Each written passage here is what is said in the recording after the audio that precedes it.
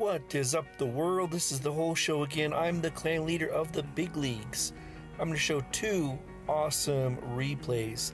This one's featuring Rich Homie Quan. He's a big hitter in the clan. He always brings it.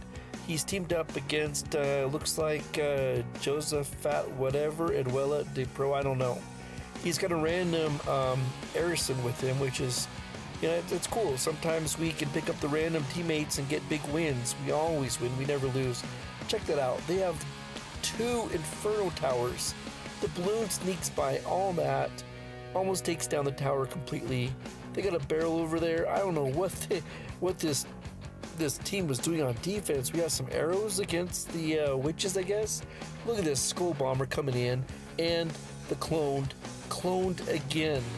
Wow. They dropped some minions. That was the fastest win I've seen recently. Nice job, guys.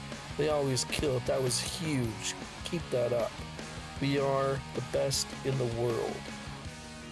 Okay, and another battle here. Check this out. Tyler J007 and Donald Trump taking on 100% TV. What are these names? What, what does that even mean? Okay.